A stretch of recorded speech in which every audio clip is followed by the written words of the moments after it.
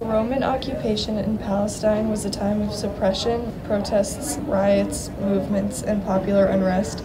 The Galilean and Judean people fought back against the Romans and protested their rule. It was not a time of peace and harmony between Rome and the people they ruled over. Rome would march through towns, burning them and killing people in order to scare them out of resisting. King Herod's title was the King of Palestine, and the Senate nominated him King of Judea.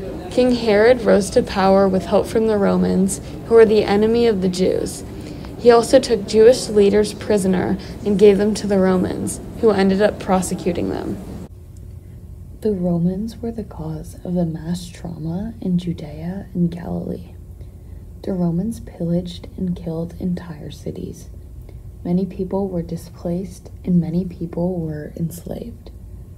Any dissidence was put down by force in following massacres.